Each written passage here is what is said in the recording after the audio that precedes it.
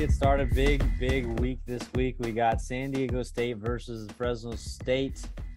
Matt, tell us how the vibe is around the Aztec football team down there in SoCal. Well, it's definitely a vibe now. I think we can both relate to certain degrees, man. The, this game last year was totally different, right? I mean, both teams were coming in flying high. Haener was thrown all over the field. We were doing some things defensively. This year, woo, it's been a long one, man. I mean, we've gone through a lot of changes, as you guys can relate as well. But coming into this week, you know, it's it's no excuse time, right?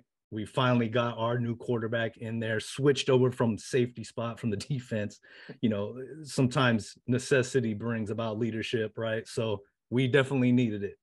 And now, hey, toughest test to date for the young man, Jalen Mayden and the Aztecs. And man, it's going to be wild on Saturday. Yeah, it is. No kidding. Going through the gauntlet, Fresno State and San Diego State both kind of had a topsy turvy season where you feel like you're up here, and then all of a sudden you're way down here, and you go, "Dude, what's going on, man?" Well, you guys tell me, man. What what's going on with uh, Mr. Haener? Is he going to play or is he not? I want I want the real. Pletz, why don't you take that one? Why don't you break it down? What's going on? Uh, I, I wish we knew. Uh, you know, our coaches are really secretive about uh, all injury information, so which is frustrating. But I can also appreciate the gamesmanship. Um, so practices this week have been closed to media. Uh, they haven't done that uh, yet. So uh, either they don't want people to get a look at Haener, or they're trying to put a smokescreen up, and he's still not close. So. Um, we don't we don't know honestly. Um, I've been predicting though since the injury that this would be the game he comes back. Um, just because you know it's about six ish weeks. High ankle sprain should be you know enough time to come back from that. Plus, it's a big game, you know, important to both teams. So I've kind of had this one circled really since September um, for Haener to come back.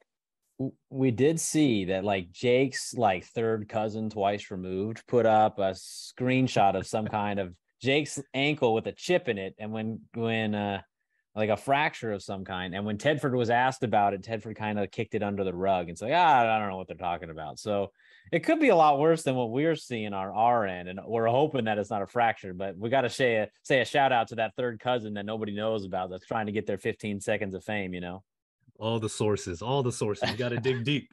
got to get the, got to get all the news. Well, I'll tell you when. I hope he plays. I mean, you know, he really impressed me last year when he came down and and really beat us in Carson, California. Like that was an impressive performance. We thought we were gonna get hands on him all day. He took some big shots and he stood back there in the pocket and he made things happen, you know, with his arm. So I hope he comes back because I want to play the best. You know, I know Fife has had some pretty good games his last couple games, right? I mean, you guys have been getting creative with him, but you know, I, I want Haener, man. Yeah, I think I think we were surprised against San Jose State. I mean, really, the the story the last two games has been our defense. I mean, only giving up uh, ten to San Jose and you know nine to New Mexico. Um, so that's kind of been the story of the last two weeks. And you know, against San Jose, we were kind of lucky to piece together enough offense to get the victory, and then New Mexico just is New Mexico. So uh, I don't really have anything else to say about that one. Well, well, let me ask you guys this because I mean, seeing Haener go down so early in the year, that had to be devastating. Had to be. So I was in Vegas watching us get totally ran by Boise. And me and my buddies, my co-host, we look up at the screen and we're seeing Fresno losing to UConn. Like to go through that to where you guys are now, like how are you guys feeling? Because that's, ooh, that's that's pretty tough, man. Alcohol. No, just kidding. cheers. Cheers. no, yes. no. I, uh, uh, like I said, topsy turvy. Let's can attest. We were talking beginning of the year. This is a team that should win New Year's Six game. That's how right. good we were. Then you lose, you lose it at the buzzer to Oregon State. Sucks. You go play USC, Jake rolls his ankles, bummed out, and then you get blown out. Sucks. Then you fly across the country and lose to UConn, and it's unacceptable. And then you show up to Boise and put a like just a terrible performance in. So the red wave has give or take some a lot of fans have kind of been like you know what this is a bust of a season and like we have a chance to make it just like san diego state and let's yeah. let's hear about what your guys' thoughts are like you said you, the vibe's good. Let's talk about your team a little bit because both of us are still very much in contention, even though our seasons have been up and down. Right. So so let's talk about your offense a little bit. Who should Fresno State fans uh, keep an eye out for on Saturday wearing the Aztec red? Well, I think you you hit it on the head, man. It's pretty interesting that both of us are saying the exact same things to each other in the locker room, right? The destiny is all in your hands, you know, everything in front of you. It's all there for you. The championship, all the goals that you have, they're right there for you, despite what you've gone through. We both won two games in a row now. You know, for us, that was the first time. So it's like we're both in similar spots. Our offense had to go through hell to get to where we are now. I don't know how much you guys pay attention, but our offensive coordinator for the last three years was let go of uh, after that Boise game. And it was just, you know, it's hard to explain because he had been with us for three seasons. And, you know, all the past years we've won in spite of the offense. You know, Fresno is very known for having quarterback culture, for having those receivers.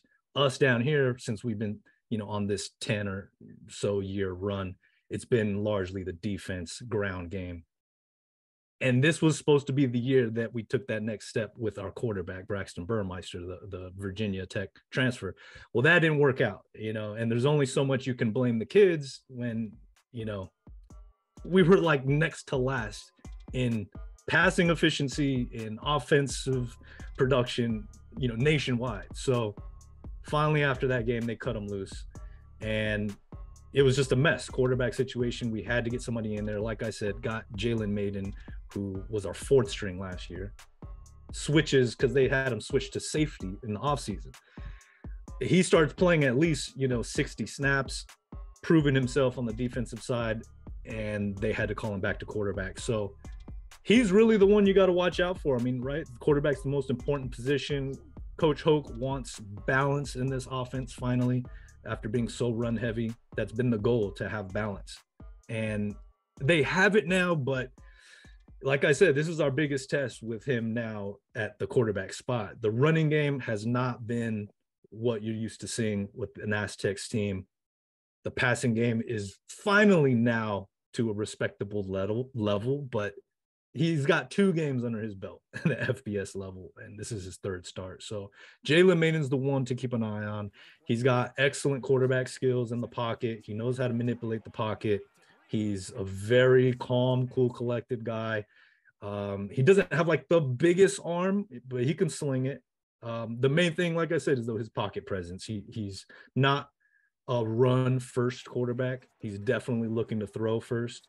But as proven last week against Nevada, I don't know if you guys saw that play, that 30 yard touchdown play. I mean, it was pretty incredible. You know, the skills that he's shown with his leg was pretty impressive to escape and score. Um, he's a big bodied quarterback.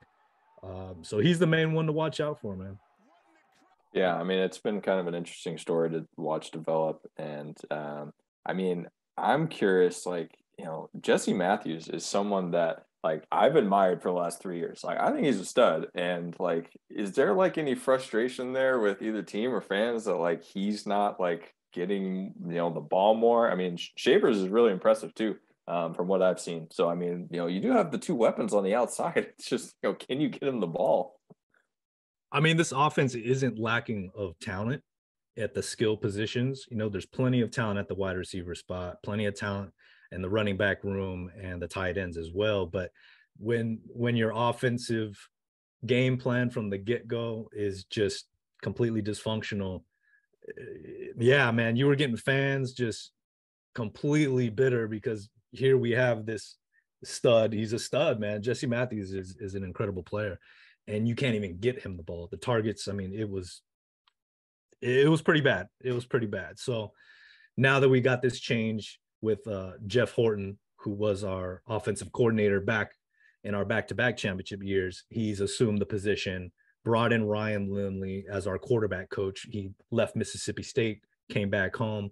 Uh, you know, loves the program that much, so he's taken on that quarterback room situation. So it's it's been like I said, a lot more balanced. Shavers definitely is beginning the the bulk of the targets because Shavers and Jalen Mayden actually transferred over from Mississippi State together.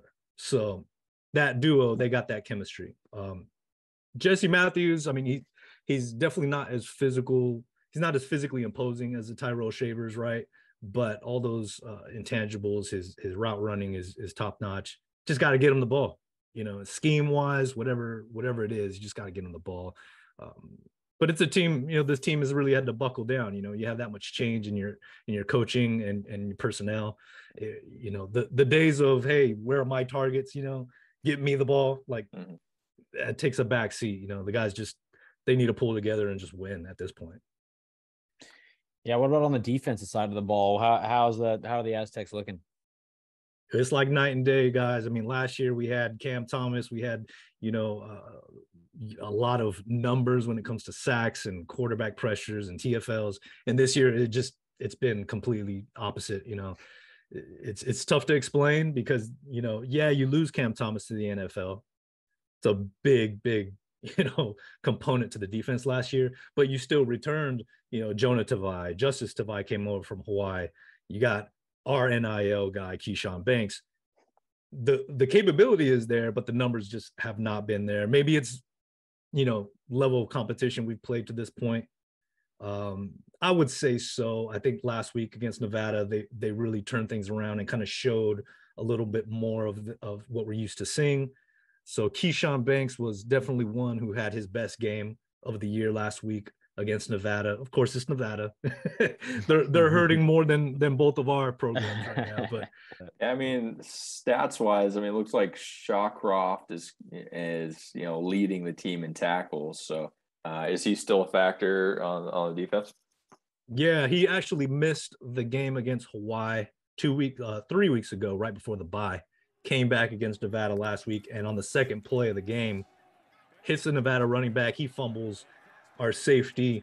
Patrick McMorris picks up the ball and runs it in for a touchdown. So those two players, if I would say anything, uh, Michael Shawcroft uh, and Patrick McMorris, those two guys are basically our two playmakers on the defensive side of the ball. Uh, you know, aside from the defensive line. Well, Blitz, how how crazy is it? I feel like Matt's talking about San Diego State, but if he literally just changed the name to Fresno State, I feel like he's talking exactly about us. We lost Aaron Mosby to the NFL. D line has has not performed as we wanted to. There's a handful of guys that are making plays. The quarterback position has not been what we expected. Our playmakers just aren't getting the ball as much as we want to. It doesn't. It feels like it's kind of like we're looking in the mirror right now. Yeah, definitely. It seems like these two teams are kind of running parallel seasons right now, which I feel like it's a cool time for them to meet right now. I mean, yeah. really, you got to put up or shut up, and whoever you know plays better in this game, you know, probably has a good shot at you know representing the West of the Mountain West. Boy, no wonder these two fan bases hate each other so much. Right? It's like, it's exactly like looking the in the same, mirror. It's like it's like looking in the mirror. My cousin's in the valley, and we're down here at the beach. what's going on with David Perales, guys? Tell me about David Perales. not much. He, yeah, I mean, not much. He had one one huge game. You know, the the San Jose State game. He had uh, four sacks or five sacks, how many it was. Um, so like he exploded that game. Um, so I don't know. And you know, San Jose supposedly has a decent offensive line, so that was kind of surprising.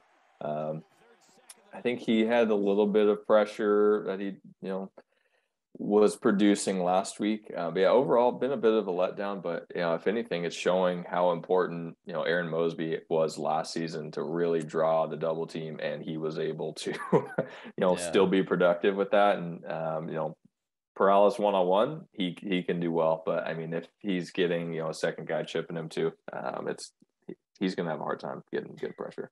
There's been drives. I think it was was it the Oregon State game? Last drive of the game, Perales was on the sidelines, wasn't even out there on the defense. Like they had him not playing, and not because he was hurt. He was just on the sidelines, which goes to show that he went from a guy who was very highly regarded coming into the season to now he's that top that kind of season is that he's just not even getting some reps in critical time just kind of shows mm. but then he's got a game where he gets four sacks and he looks unstoppable so he has been he's been in that boat where you're like dude where's that been and i feel like that's kind of fresno state's whole season is logan fife will have a huge run oh that was great where's that been? And then the next week it's like Perales has four sacks. You're like, oh great, where has that been? And it's just the consistency hasn't hasn't been there. So I think that's been something we've talked a lot about. I want to know more about Logan Fife. Is there anything? What what does he excel at? Maybe more than in, in his facet of of game. Um, we've been a little we've been a little tough on him. Well, I'll be let's let's we can start there. We've been a little tough on him because uh, fans actually kind of wanted to see him benched um, yeah, after the okay. UConn game. Uh, when you lose to one of the worst teams in the country, it's kind of like, nah, you know, like, and you only put up yeah. 14. It's it's really tough. And plus, UConn had like 11 hurt starters, so not necessarily a, a great look on the resume.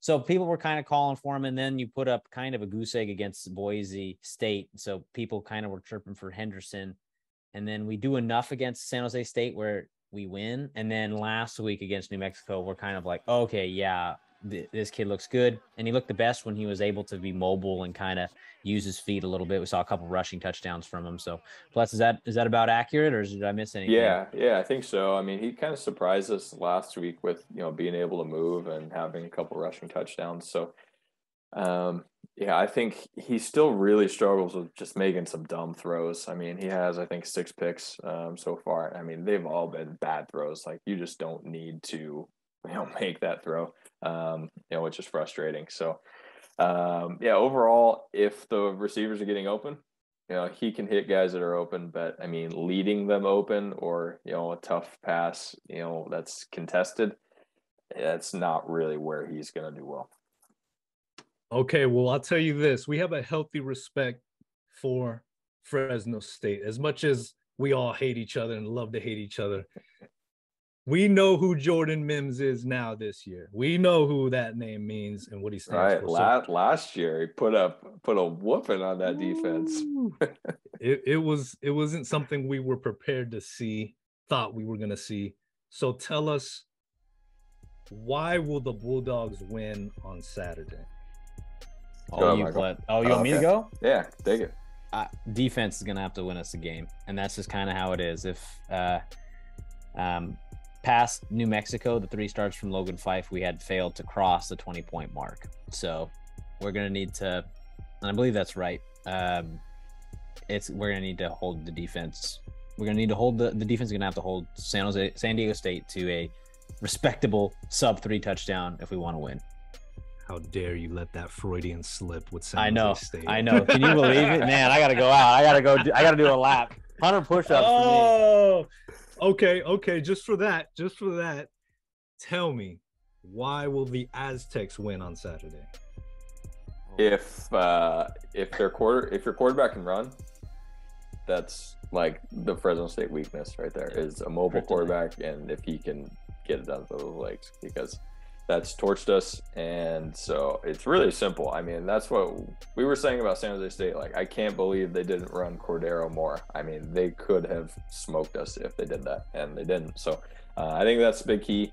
And, you know, forcing turnovers with Logan Fife. I mean, if they're able to kind of mix up coverage and get pressure and force them into bad decisions, you know, he is very capable of turning the ball over and, you know, giving positive field position. So that way, you know, at least you're getting a field goal out of that possession. So those are kind of the two two main things.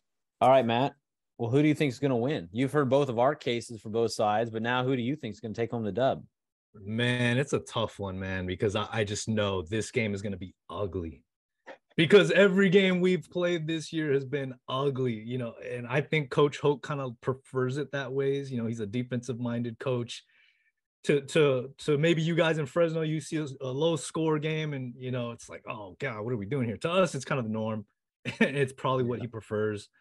Um, but man, on the road, you know, I've been to Bulldog Stadium one time. It might be the one time I ever go up there because it's tough to win up there. I mean, the dogs are barking in the stands. It's it's just a crazy environment. I have to pick Aztecs, right? I have to pick. Yeah. But it's gonna be ugly. I think in order for us to win, it has to be an ugly game. Uh, we're not gonna win in a shootout. At least I I don't think we will. So I'll say Aztecs 20, Fresno 17. All right, all right. Plus, did you give your you give your uh, score? yeah, in our in our preview episode, uh, I I ha- I kind of predicted the same thing. Like for me, like just San Diego State football is just like kind of ugly and weird scores. Like you know, there's gonna be a missed extra point or there's gonna be a safety thrown in there just to get some weird numbers on the scoreboard. So I think I said you know Fresno State comes away with a win like 23 to 19, like something something weird like that. We're on the same lines. We're on the same I love it. Well, I think I I think I, I'm still not confident in Logan Fife, and we don't know if Jake's going to be out there. So I think I'm actually going to go with Aztecs on this one. I think the Aztecs do pull it off, and I'll I'll stick with the weird scores. You know, let's say we got uh, 18 to 14 final final score there, 18 to 14. Very humble of you guys. Very humble. Very humble. All right. I well, think, one, I think I think this will probably be the last time that Caleb lets you uh, sub in a so sport. Michael. she's like, are you are you kidding me, Michael? You didn't even pick the dogs to win. Oh my gosh. gotta Well, hey, gotta mean- bring some of that hate. You gotta bring some of that hate. exactly. But hey, I mean that's that's just kind of how our season's gone though, right? Yeah. It's like, you know, we we come back, you know, after the loss to UConn and we're all like, oh, San Jose State's gonna smoke us. Like we all all three of us picked San Jose State to win easy against Fresno State. And then we we win and we're like, okay, that was that was weird. So Yeah, yeah. Mountain West football, man. Mountain it football. is. It is. I was gonna ask you about Sun, Sun Snapdragon, Sun Dragon, Snapdragon Stadium. yeah. Snapdragon Stadium, because we usually ask people what to do when and when, if we go to your college town. But like, dude, Snap Snapdragon Stadium, brand spanking new. How is it, man? Oh, it's it's a beautiful stadium, guys. You know, we had to fight for that stadium. Um, it was up to a vote, and the San Diego voters chose it very decidingly. But it's a beautiful stadium, man. It's a it's a football stadium one, but it, it can house soccer, concerts, a lot of different events. So San Diego State owns it. We're gonna reap a lot of uh, benefits and rewards and, and money from it. So that's a great thing. It's uh it's the next step. It, it was the necessary step we needed if we do want to make a jump. If expansion does call um, us up, so you know it, it's a it's a dream come true for for a diehard like myself and all of us down here in San Diego. And you know it, it hasn't been the ideal season. the opening game was like a heat wave that I think all California felt, but we felt it really bad on that opening game. So it was kind of a fiasco, man. Just to be honest with you, but you know it, it's going to be it, it's already a big recruiting tool as i alluded to on twitter. We just kept one of our big offensive lineman guys here. He fresno state was on his list. And one of the big reasons why guys want to stay home now is because of this stadium man. It's it's a beautiful brand new home of our own. I know you guys know what that's like. You guys have had bulldog for for quite many years and you know you guys should be proud about it man. It's a, it's that's a, a fantastic venue you guys got up there It's all right. It is. It, it's also old though. I mean, we're we're kind of in the middle of our own uh, process to try to renovate or uh, uh, figure out upgrades. So yeah, it's kind of interesting there. And yeah, I'm I am excited to to hopefully make a trip down at some point to Snapdragon because uh, the the Murph was um, it was it was old. Uh, I mean, sometimes the old stadium is kind of fun. Like I don't know if you've ever been to like Oakland A's game. Like they have like the worst stadium in MLB, but like it's also kind of fun because like the, the fans just kind of embrace it, and it's just kind of gives it a little little e- edgier vibe for the game. But it's got yeah, character it's got character it's got Exactly. charm Character. Yeah. But tell me, man, why are there so many fights in the stands at Bulldog Stadium, man? We we had a lot of fun with that fight last year when against Boise, but I mean, just recently I saw there was like like two older Fresno Bulldog fans fighting each other in in the red seats. Like, what's going on up there? that You guys are are, are beating each other up. Honestly, I don't know, man. It's got to be something in the beer. It's got to be something in the beer, dude. I don't know what it is, but something in the water or something in the beer. I don't know what they're bringing in, but people get a little people get a little excited halfway through and start throwing punches at somebody. I don't know what's going on, man. I mean, I think it, it's it's got to be all these seven forty five, you know, kickoff times. I mean, you know, Ah, it's it's em- Saturday day it. off. They're drinking drinking all day, and so plus I don't know, just people are rowdy at football games. I guess. Do you guys feel like that's a detractor for you know getting that expansion invite? They're like, oh my god, those guys at Fresno, they just want to fight each other, and like, we can't have that. No, you should see our academic scores. Then you'll realize what's the, what's the kicking us out. Then you'll realize, oh yeah, that's what it is. It ain't the fights; it's the guys in the in the classrooms. Okay, that's what. It, no, it, it's a. We need a new stadium. Our academics aren't up to par, and sadly, after football, we've seen uh, just the, the competition level I don't think is is there. So I think we're gonna need to step some things up if we want the Pac-12 invite. Fingers crossed though. Gotcha. Yeah. So, well, cool, Matt. Well, hey, I appreciate you. Good luck on good luck on Saturday. I picked the Aztecs win, but you know what? Kind of hope they lose one more on Saturday. And you probably feel the same way about the Bulldogs, man. So, but I appreciate you. And uh, where can people find Sons of Montezuma? sonsofmontezuma.com. Definitely find us. We have NIL partnerships with players. We do podcasts, articles, all that good stuff. And on YouTube as well. Cool. Appreciate you, Matt. Thank you. Thanks a lot, guys. Go Aztecs. Go dogs. Go man. dogs.